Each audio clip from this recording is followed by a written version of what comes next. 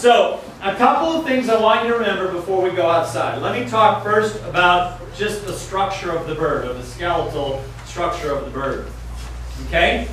Remember that the, make a note somewhere on your page there, the head will tell you everything. Alright? The head of a chicken will tell you everything. So, if I'm talking about a, uh, a Plymouth Rock, or a New Hampshire, or a Delaware, or a Dominique, or an Australorp, all those breeds, uh, the wider the head, almost guaranteed, the wider the head, the wider the body of the bird. Okay? So when we talk, and I'll show you some birds out here, we're talking about a chicken having a crow head. Alright? What I'm referring to is a crow that flies around, that head that's long and narrow and pointed. Okay? And we call that a crow head. And when it comes to assessing breeding flocks or even production, okay, the bird that has a wider head is going to have wider body. She's probably going to be, he and she are going to be better producers. Okay, so the skull of a chicken tells you everything. The narrower the head means smaller the brain. Okay? Uh, the head houses the nervous system. Those are some, you know, um, and, and typically if you've got a wide skull, uh, you're going to, actually I could almost bring that picture back up on, uh, on the screen, but this bird that's on that card that you have, if you look, it's not a super good shot of her head, but she's a Cornish, is going to have a wide skull, a good one, and she'll be broad across the shoulders. Now the reason for a dual-purpose chicken or a meat chicken that you want broad head and broad across the shoulders, anybody can ask why, why would that be important? More meat and better uh, presentation of the carcass when it comes to the table, whether it's your table of your own birds or you're you know, providing that for the consumer. Okay? So when that bird is broad across the back, you turn it over, it's also going to have some broadness across the breast, the front of the bird. Uh, okay, so you want to remember that about the head. Uh, I'm going to show you when we go outside um, uh, what we call the heart girth. Okay, the heart girth is just right between, I'll go down between the wings, and it's the width of the body right between uh, uh, the, the, the, two wings. It's a little hard, hard to explain versus going out there doing it, okay? But heart girth is very, very important, on, and that's all part of the width of the bird. Um, I'm going to skip some of these other things. You can take some notes out there. But flatness of the back. Okay, that's all connected to that width. All right, a bird, a bird that's narrow uh, is going to be, um, you know, when she's narrow in the head, narrow in the body, she's going to be narrow also in her carcass. It's also going to mean, remember earlier today I was talking about those leghorns you have a lot of in the back end, all right? When she's narrow, that also gives her a smaller area to be and less space for her to produce that egg. Okay? So just some things I kind of want you to kind of keep in your mind um, when we go out to handle the birds. Um, as far as egg production,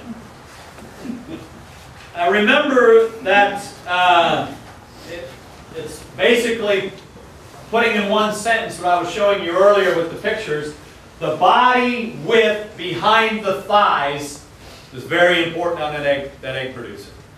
Body width behind the thighs is very important for egg production. I don't care what breed of chicken it is, all right, except for the Silkie, but All right?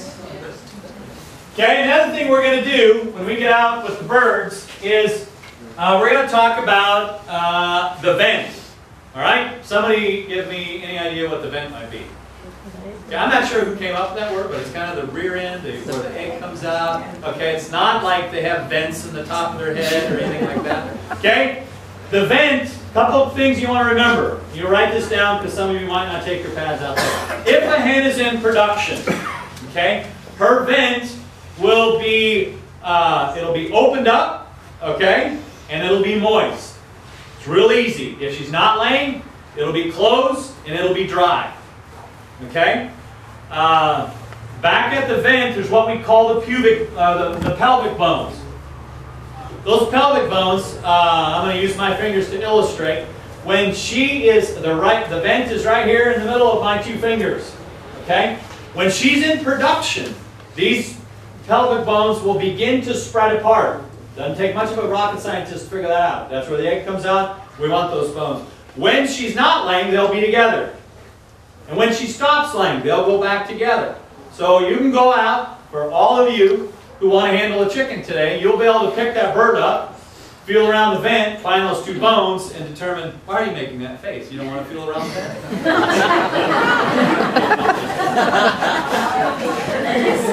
You're at a backyard poultry workshop. I love that face. That was great. And when you can turn around to the camera, Okay, so, uh, yes. How far apart is close and how far Well, apart is actually, open for the? a good egg producer, uh, most all the dual purpose breeds that you raise in your backyard, when she's in good production, three fingers should Wow. fit between those two bones. When she's not in production or when she is? When she's in production, Oh, okay? And if she's not in production and those bones are together, if that happens in January, and then in March, and in May, and then again in September, and around Christmas time, she's in retirement. She appreciates all the money that you spend on food and she's giving you nothing in return. Okay? So now, just a little breeding piece. The male chicken of every breed, all right? If his bu- the he actually has the most influence on producing girls that lay eggs. Okay? And when his uh, when his pelvic bones are, you know, they'll naturally be together. He didn't lay an egg. But if they're curved in, the very tips, as brilliant Don Schrider taught me this, that when those are, are turned in, uh, there's a good chance he's going to produce girls that aren't good egg producers because as those bones are, or those pelvic bones are turned in, what happens is there might be some egg effort, but it's really hard and it's painful for that bird. She's like, eh, not think I'm going to do this, okay? And she goes into the low production classification, okay?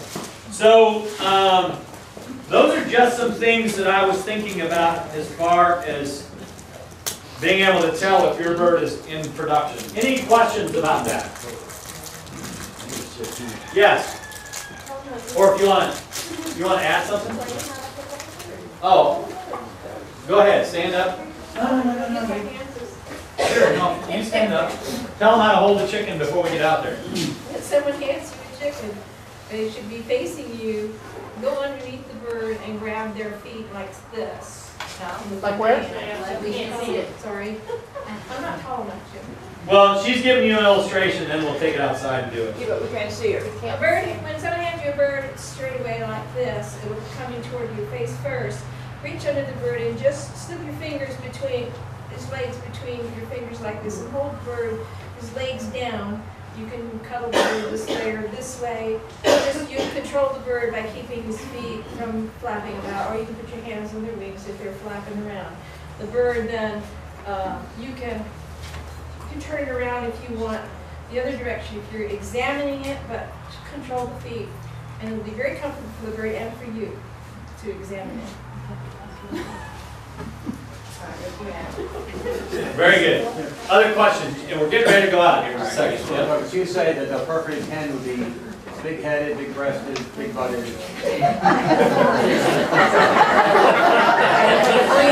Okay, that, that is true, that is true.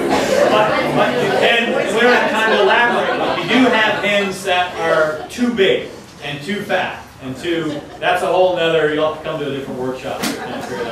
But generally speaking, width of skull tells you width of body. But a hen, a bird can have good width of skull and good width of body and not be fast. Okay? And uh, we don't have any of the, of the Buckeyes that we're going to look at right now um, penned up. But there's probably birds that Rocco has in his flock that are nothing but big eaters and they're overweight. And that's a, you know, we don't, that's down there. We have to How do you tell? Oh, I, I, um, it, it does, um, let, let me tell you this, it's kind of connected to what Harvey was saying with, with what a chicken tells you. Your eyes are your best management tool, period. Your eyes are your best management tool. And so, you know, hens that are, if you watch your flock and spend time with them, okay? Hens that are, um, staying in the coop late in the morning, they don't get up with everybody else. Ones that, ones that, I'm serious, totally serious. Uh, ones that, that go into the coop early, you know, they're not very strong foragers, they're not that active, they spend a lot of time eating, you kind of watch them, they're just like, yay, you know, it's just kind of like, you know, um, so, Then they good carpenters and plumbers.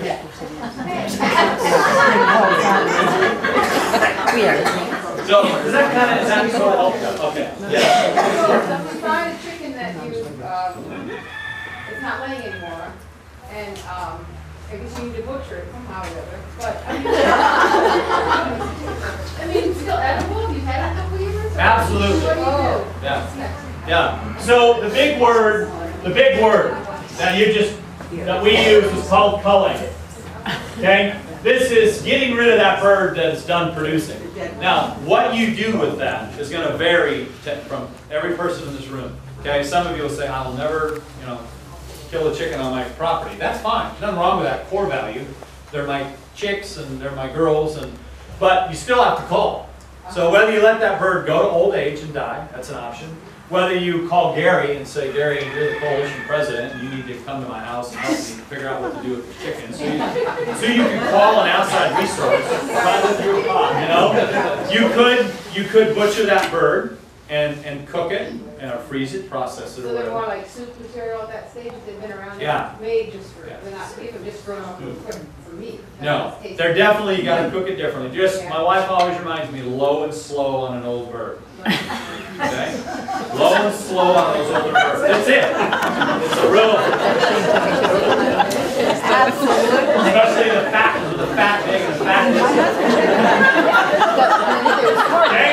Other questions before we go on? Yeah. How long do they stay in retirement? Is that your question? Well, she, they, where's Pat. How long have you seen a, one of your pet chickens live? How long have you seen a, uh, pet chicken live? Like if it's in your backyard, old age? Oh, okay, the, the oldest one on record is twenty years old, and I know of a barred rock that was ten years old, who would lay one egg every spring.